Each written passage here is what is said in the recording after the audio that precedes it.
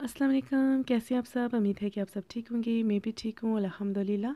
जहाँ भी रहें, अल्लाह ताला आपको अपने ईमान में रखे। आमीन सुम आमीन। अच्छा जी, ये सुबह सुबह का टाइम है। ये संडे संडे का टाइम है सुबह का। और ये संडे को हमारा जो है ना ब्रेकफास्ट तैयार हो रहा है जी। और आज मैंने थोड़ा सा जो है ना ब्रेकफास्ट हल्का फुल्का रखा था। एग और साथ मैंने ना ब्रेड वगैरह बना लिए थे। और, जो बच्चे थे, उनको, उनकी मर्ज़ी के साथ मैंने दिया। मतलब जो कुछ वो खाना चाहते थे। और बेटे ने दलिया लिया था और फिर थोड़ी देर के बाद ब्रेड और एग भी लिए थे। और जो बेटी है, उसकी थोड़ी तबीयत ख़राब थी तो उसने जस्ट चाय ली थी और इसी तरह हमारा जो है ना ब्रेकफास्ट हुआ। और हस्बैंड जो हैं वो तो संडे को जो है ना छुट्टी करते होते हैं, घर पे होते थे लेकिन इस दफ़ा, इस संडे को ना हस्बैंड ने काम पे जाना था क्योंकि नेक्स्ट मंडे को ना हमारे घर में वर्कर आने वाले थे काम करने के लिए और फिर हस्बैंड ने बोला कि मैं आगे जो है ना मंडे को छुट्टी कर लूँगा।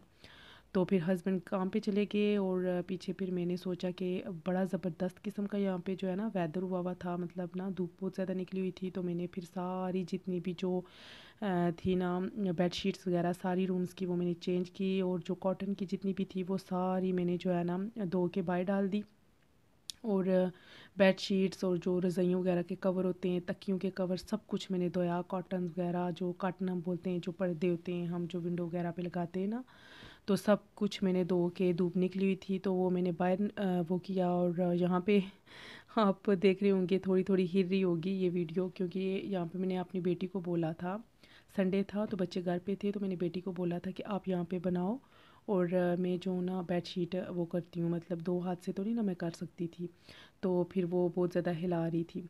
अच्छा जी, और उसके बाद फिर मैंने ये किया वो सारा कुछ करने के बाद फिर मैंने यहाँ पे जो है ना गर्म वाली जो बेडशीट होती है ना, वो निकाली और ये मेरी न्यू बेडशीट है, ये मैं फ़र्स्ट टाइम जो है ना मैंने ये अपने बेड पे जो है ना डाली है। और क्योंकि मेरी अम्मी ने मुझे ये गिफ्ट भेजा था, लेकिन हुआ कुछ यूँ था कि जब उन्होंने भेजी थी ये तो उस टाइम गर्मियाँ बहुत ज़्यादा थी और ये जो है ना ये गर्मियों की नहीं है, ये सर्दियों वाली है मतलब ये मोटी वाली है ना। तो फिर मैंने अब जब सर्दियाँ स्टार्ट हो रही हैं तो फिर मैंने ये जो है ना, डाली और गर्मियों की सारी जो है ना, वो मैंने धो के डाल दी है बाहर। और आगे मैं बाहर भी आपको दिखाऊँगी कि आगे मैंने क्या क्या किया और ये जो है ना जो रज़ाई का कवर है, वो भी मैंने न्यू वाला ही डाला है। और जो, क्योंकि मैंने दो तीन रखे हुए होते हैं, क्योंकि यहाँ पे जो है ना वेदर का कुछ पता नहीं होता। अब ज़्यादातर जो है ना बारिश वगैरह भी होती रहती है तो फिर दो तीन हूँ कवर तो फिर अच्छा हो जाता है, क्योंकि सूखते सूखते भी एक वीक लग जाता है इनको सुखाने के लिए। और क्योंकि हमारे घर में जो है ना हमारा किचन बहुत छोटा है तो हमने जस्ट एक ही मशीन लगी हुई है, जिसमें कपड़े धोते हैं, जो सुखाने वाली होती है, वो नहीं है। और ये सब करने के बाद, उसके बाद मैंने क्या किया? ये जो है ना छोटा सा कवर इसमें भी मैं डालूँगी। उसके बाद जी मैंने क्या किया? बच्चे वगैरह आपस में प्ले कर रहे थे और मैं चली गई गार्डन में। और गार्डन को मैंने अच्छे तरीके से साफ़ किया क्योंकि चार दिन से मैं गार्डन को तीन चार दिन से नहीं साफ़ कर सकी। उसकी वजह ये थी कि बारिश ही नहीं रुक रही थी तो मैं कैसे साफ़ करती ना? तो जैसे कि संडे को बारिश नहीं थी तो मैंने फिर इस गार्डन को अच्छे तरीके से साफ़ किया। यहाँ पे ना हमारे गार्डन में जो हमारे बैक साइड वाले ना उनके वो ट्री वगैरह लगे हुए हैं तो वहाँ से बहुत ज़्यादा जो लीव्स हैं पत्ते वगैरह वो यहाँ पे गिरते हैं तो बहुत ज़्यादा गंद पड़ जाता है। तो फिर मुझे आ, मैं कोशिश करती हूँ कि दो दिन छोड़ के मैं कर लूँ मतलब गार्डन साफ़ लेकर। ऐसा होता है कि वेदर साथ नहीं दे रहा होता बारिश स्टार्ट हो जाती है यहाँ पर ना। बहुत ज़्यादा बारिशें होती हैं तो फिर इस वजह से जब भी मैं देखती हूँ कि मौसम नाइस है तो तब मैं साफ़ कर लेती हूँ। और ये आज चार दिन के बाद मैंने ये साफ़ किया और कपड़े वगैरह सारे जो हैं वो बाहर मैंने सुखाने के लिए तार पे डाल दिए और उसके बाद जी प्रोग्राम बना के पार्क में जाने का। संडे था तो मैंने सोचा कि वो मौसम भी काफ़ी दिनों के बाद ठीक हुआ है तो मैं क्यों ना बच्चों को लेके ना पार्क में चली जाऊँ। तो मैं पार्क में पार्क में चली गई और मैं और मेरी बेटी जो हैं वो नीचे झूले वाली साइड जा रहे हैं और जो मेरा बेटा है वो दूसरी वाली साइड जा रहा है क्योंकि वहाँ पे ना यहाँ पे जो एक्सरसाइज की मशीनें वगैरह होती हैं ना वो भी लगी हुई हैं। तो मेरा बेटा सबसे पहला जब भी यहाँ पे आता है इस पार्क में तो सबसे पहले ये उधर जाता है और उसके बाद वो नीचे वाली साइड मतलब आता है स्विंग वगैरह करने के लिए झूलों पे। और मैं और बेटी जा रहे हैं और आप देख रहे होंगे कि यहाँ पे कोई भी नहीं है जस्ट मैं और मेरे बच्चे हैं और इसकी वजह ये थी कि हम थोड़ा सा ना से असर के बाद वाला जो टाइम नहीं होता है मतलब उस टाइम हम गए थे और डे को यहाँ पे बहुत ज़्यादा रश होता है और दिन को रश होता है और शाम के टाइम ना सारे चले जाते हैं घर पे क्योंकि यहाँ पे ना बच्चों को एट ओ क्लॉक जो है ना बेड पे लेके जाना होता है और क्योंकि टाइमिंग के साथ चल रहे होते हैं क्योंकि वीकेंड पे मतलब जैसे कि सैटरडे को आप बच्चों को थोड़ा लेट चला सकते हो, लेकिन जैसे चलता हुआ वीक हो मतलब तो ये क्योंकि संडे था तो संडे को बच्चों ने आठ बजे सोना था, क्योंकि बच्चों ने फिर जल्दी अर्ली मॉर्निंग उठना होता है, जागना होता है और तैयारी वगैरह करके स्कूल भी जाना होता है और इसलिए बच्चों की प्रॉपर नींद का पूरा होना बहुत ज़्यादा ज़रूरी है। इसलिए जो है ना, जल्दी लेके चले जाते हैं माँ बाप ना बच्चों को तो उसके बाद जी ये हम पार्क में आ गए और वो आप पीछे देख रहे होंगे, ये जो है ना ट्राम। और ये जो ट्राम है ना, इस पे जो है ना हम टाउन वगैरह पे जाते हैं या कहीं भी अगर जाना हो तो ट्रैवल कर सकते हैं इसके ऊपर।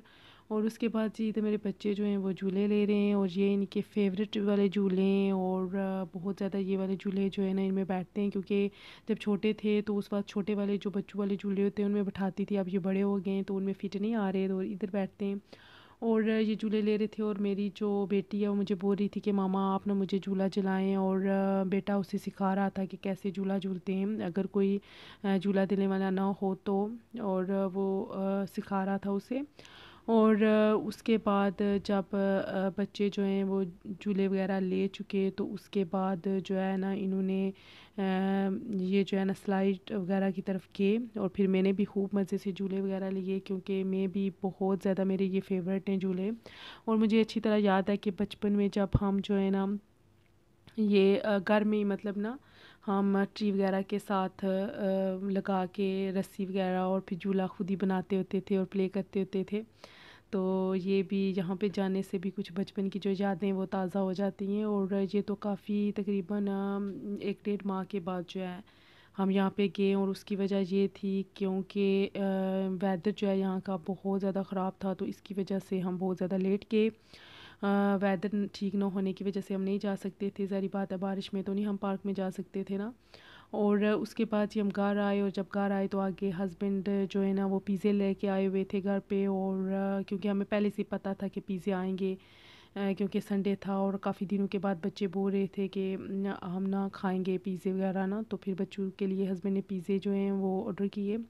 और बल्कि ख़ुद ही लेके आए थे और क्योंकि संडे को वो वैसे तो छुट्टी करते हैं, लेकिन इस दफ़ा उन्होंने छुट्टी नहीं की। वो काम पे गए हुए थे और क्योंकि मंडे को उन्होंने छुट्टी करनी थी तो उसके बाद बच्चे वगैरह सो गए हस्बैंड भी सो गए, मैंने चाय वगैरह भी साथ बनाई और खा पी के ये तो सो गए।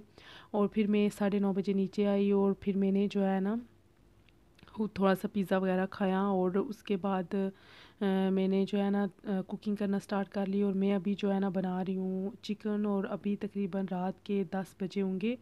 हाँ टेन ओ क्लॉक होने लगे हैं, दस मिनट लेफ़्ट रहते हैं पूरे दस बजने को। या मेरे ख्याल में साढ़े दस हैं। हाँ साढ़े दस होने लगे हैं तो मैं अभी बना रही हूँ जी चिकन और ये चिकन मैं रात को क्यों बना रही हूँ? इतनी लेट नाइट क्यों मैं कुकिंग कर रही हूँ? इसकी वजह ये है कि दूसरे दिन जो है ना, कल मंडे है। और मंडे को जो है ना फिर वर्कर ने आना था काम करने के लिए और उन्होंने बॉयलर वगैरह लगाना है और वो जो उनका काम होगा ना वो सारा किचन में होगा। और फिर मेरी ज़ारी बात है किचन में जो है ना मैं फिर कुकिंग वगैरह नहीं कर सकती थी, इसलिए मैंने संडे को रात को ही जो है ना चिकन बना के रख लिया था।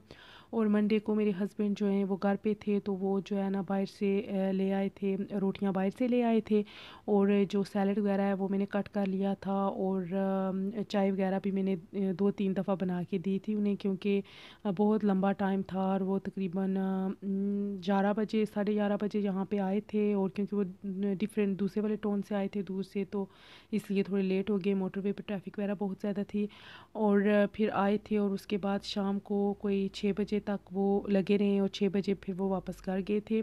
और चाय जो है वो दूसरी वाली चाय पीते हैं, जो केटली वाली होती है मतलब ना कच्ची टी जिसे बोलते हैं तो वो कच्ची वाली चाय जो है ना वो मैंने बना ली थी। क्योंकि मैंने काफ़ी ज़्यादा सामान जो है किचन से उठा के जो है लिविंग रूम में रखा हुआ था किचन पूरा खाली किया हुआ था, क्योंकि वो आसानी से काम कर सकें इसलिए।